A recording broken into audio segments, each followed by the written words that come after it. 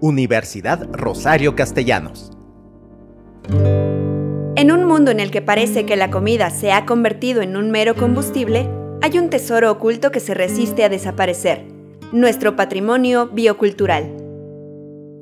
Acompáñanos a explorar algunas de las raíces de la cocina nacional. Descubriremos sabores y saberes ancestrales que han alimentado a generaciones y han dado forma a nuestras identidades y a nuestras culturas. Sabores ancestrales, un viaje culinario al patrimonio biocultural. El sistema alimentario de nuestro país está intrínsecamente ligado a la siembra y a la cosecha, una antigua práctica que se mantiene hasta hoy día como la base de nuestra supervivencia. La importancia de estas actividades es vital, pues no solo nos provee alimento, sino que también es un lazo esencial entre la humanidad y la tierra que nos sustenta. Abuelitos, nuestros papás, este, no, no cultivan porque desde ahí nos alimentamos. Tenemos nuestros elotes, tenemos este, ya en seco ya hacemos nuestras tortillas, nuestros tamales, que aquí en Palca es una tradición de que hacen muchos tamales. Dentro de cualquier fiesta se hace tamales, atole, el atole champurrado, que es de maíz. De ese rojo pasa de y ya se hace el champurrado. Este, también más no sembrado es uno va adelante con el maíz y de atrás ya le va echando este, lava o frijol depende de cómo si el frijol esté enredado, ya se enreda. Con el maíz, cuando ya va creciendo el maíz, se enreda todo. Y si es matero, pues se siembra aparte. O igual también la cal, también se usa la cal, pero eh, no nos gusta porque, por ejemplo, la cal lo deja blanquisco. Y ya se lo trae y ya se usa la quinta que, que tiene medicamento. Entonces, no, mejor así nomás le pongo los los chiles o la hierba este, le pongo la hierbita y así, no juro, así no se Ah, Por ejemplo, si queremos un terreno de azul, otro terreno de rojo, de blanco, pero no debe de ser porque luego se combina el maíz y ya sale ejemplo, este pues, lo tenemos por los lados, lo más retirado el rojo, el blanco, ya sale así, este, como lo veo ahorita blanquito, rojito, y nada más que también lo vamos este, clasificando porque también este, le quitamos lo que es la punta. Acá no traigo punta, nada más lo que es parte de la colita a la mitad de la mazorca. Ese es bueno. Para sembrar, pues también la mazorca grande se le quita de la colita un tanto, también la punta se deja un tanto, más una parte de medio. Y ese es especial para sembrarlo. Ese es especial, se le quita nada más maíz grande. Ese es el y este sería lo bueno para para... Este con un poco de punta, pero no mucho como se trae. Y con el semilla pues hay que escogerlo. Ese sí lo escogemos bien.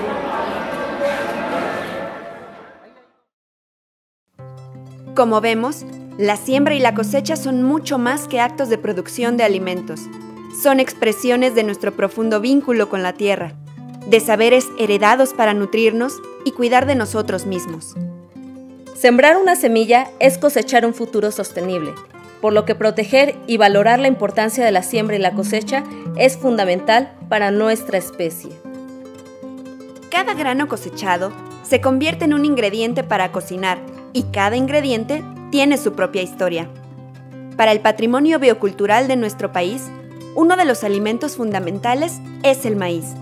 Le siguen el chile, el frijol y la calabaza, alimentos que nuestros antepasados honraron, cultivaron y cosecharon. Actualmente, en México, el maíz es un alimento esencial y de él obtenemos diversos platillos.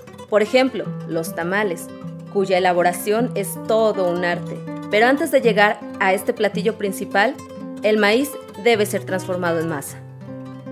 Vayamos ahora a aquel lugar en el que esto sucede, el molino, que es el guardián de un proceso esencial, en el que el maíz se transforma en harina en las manos expertas y llenas de conocimiento ancestral del molinero, cuya relación con quienes cosechan se ha forjado a lo largo de los años, tejida por la confianza y el respeto mutuo. Veamos al corazón del molino, esa maquinaria compleja que da vida al proceso de molienda. Este es el, molino más viejo, de, está desde 1945. Mi abuelita quedó viuda y empezó a criar a seis niñas.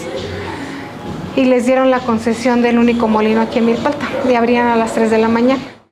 El maíz está en bultos, este, ya lo subimos por el arneador y baja a esta tina. Bueno, ahorita no está. En estas tinas. estas. Estas tinas reciben todo el maíz. Ajá, y ahorita es, esta es la calcificación del, de la cal. Ah. Pero estas son las tinas para el nixtamal.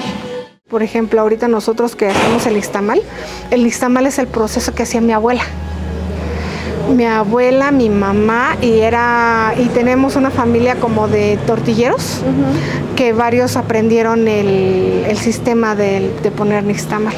Entonces de todos, toda la familia son como tres que tenemos, bueno, de nixtamal que hacen masa, masa para tortilla y este un entecómido, otro en San Lorenzo. Entonces como que venimos de familia, pero es el mismo proceso. O sea, del, eh, y cambia porque me decían es que cuando venimos a comprar, no nada más es el maíz, es el sabor.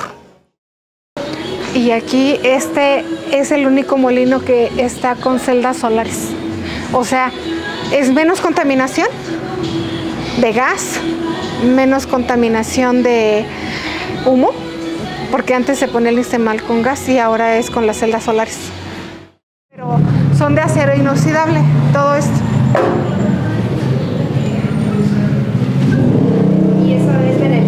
Para ustedes porque no se No hay tanta, no, y no hay tanta contaminación.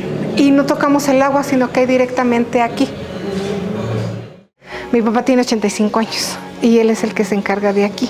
Yo le ayudo, pero le digo, ¿sabes qué? Por ejemplo, lo que te decía del acero inoxidable, este, que limpiemos, que pintemos, de que acomodemos.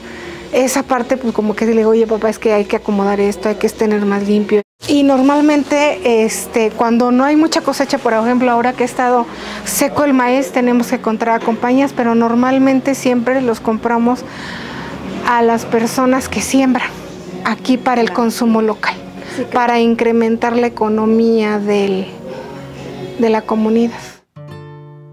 Con sus sacos llenos de harina de maíz recién molida, las y los agricultores parten hacia sus hogares y los cocineros se dirigen a sus cocinas. La harina de maíz se convierte en la piedra angular de innumerables recetas que sacian el hambre y nutren el cuerpo. Detrás de cada receta hay un relato de generaciones pasadas, una preservación de los secretos de antaño, técnicas y rituales que han sido transmitidos de generación en generación para preservar el sabor auténtico de nuestras tradiciones culinarias. Y en nuestro plato de hoy tendremos tamales de Chiapas, tamales de hoja de chipilín.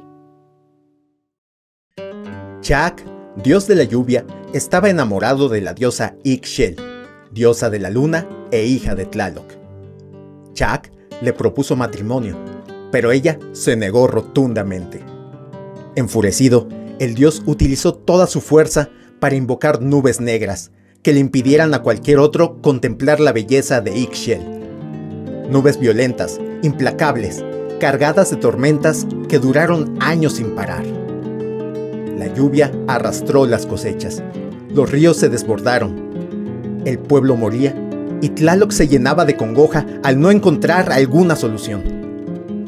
Ixchel, mirando la penuria del pueblo y de su padre, se atavió y se dispuso a realizar el sacrificio que salvaría a su gente.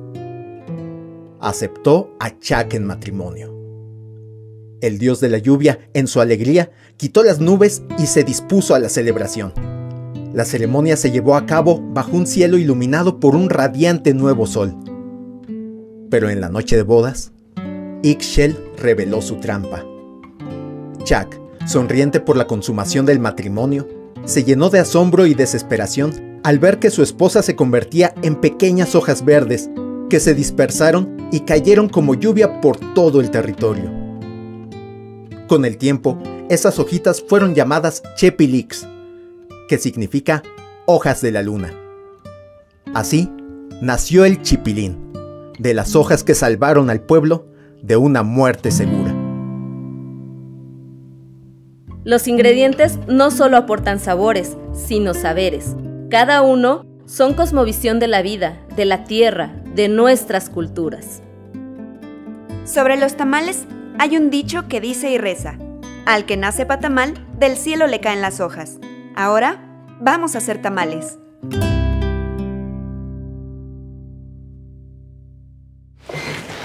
Y la verdad yo lo aprendí, pues primero viendo a mi mamá. Bueno, mi mamá tampoco cocinaba. La que hacía era mi cuñada. Y siempre ahí estaba yo de, de chismoso. Y ahí aprendí. Al final de cuentas en Chiapas como que casi no se cocina. O sea, no hay un platillo que hay, varía cada, a cada día sino que lo más importante pues era tener frijol y hacer tamal de chipilín pues tendría que ser como una festividad, ¿no? Pues estamos amasando, este, ya nuestra masa ya tiene manteca y este le echamos un poquito de caldo para que sea más suave ya le integremos el chipilín y pues hay que amasarle un poquito más para que sepa bien. ¿Cuándo, sabes que ya está lista tu masa? Pues cuando está bien suave. te le falta, ajá, este le falta, le falta un poquito más de consistencia. Y también estoy esperando que David para, para echarle un poquito más de, de chipilín. El tamal de chipilín solo se hace en Chiapas y en Tabasco, Salvador y Guatemala. Y el tamal de chipilín pues se come desde la época de los olmecas. Es, es una planta silvestre. Justamente le estaban platicando, también le estaba platicando que el, el chipilín, o sea, la, el arbustito se da en las milpas. Se da en las milpas, ahí es donde, donde uno va a recogerlo y a cortarlo para el tamal. El tamal de chipilín tradicional tiene que ser en bola. Vamos a poner en cuadritos, en cuadritos y lo metemos y amarramos. Ya así. Eso es lo que se hace en allá no sé en otras. Ah, mira es que está. Normalmente nosotros allá siempre se busca como le decimos chajan. Y se mira se pone así es que normalmente fíjate en la también en la comunidad no cuentan los tamales o sea, porque se supone que pues no, ¿para qué lo vas a, a, contar la vida? O sea, se supone que para nosotros pues no se cuenta, o sea, nada más, ahora sí lo que, lo que salga. Tenemos muy buen fuego. Ajá. También tiene que ver mucho si tenemos muy muy bueno, o sea, tenemos muy buen fuego. Y eso va a aportar muy bien para el cocimiento. Eso sí no hay que estar abriendo a cada rato porque si no no se va a cocer. Ajá. listo. Vamos a empezar a ponerlo a fuego para que empiece a cocer. Y después vamos a hacer nuestro pozol bueno pozol con cacao y una vez que esté lo vamos a comer tamal con este con el pozol. Y también vamos a hacer nuestra salsa. Salsa en un rato lo vamos a hacer.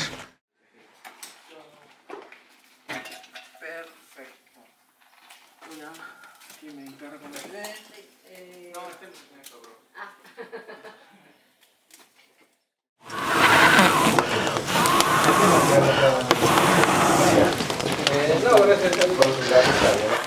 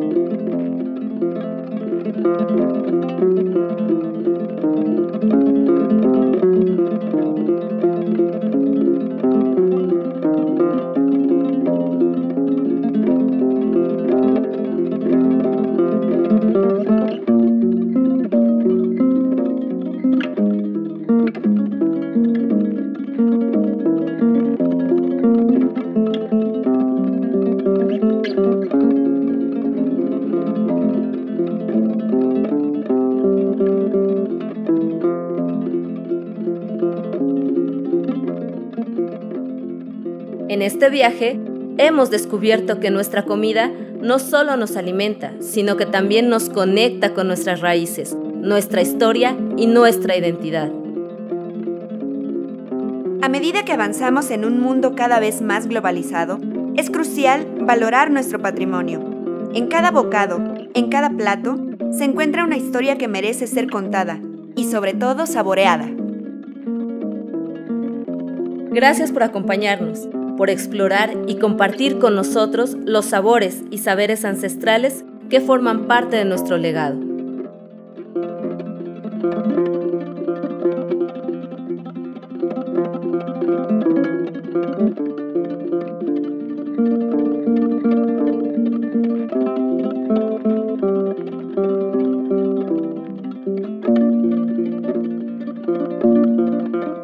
El uso de imágenes, fragmentos de video, fragmentos de eventos culturales, programas y demás material que sea objeto de protección de derechos de autor es usado exclusivamente para fines educativos e informativos.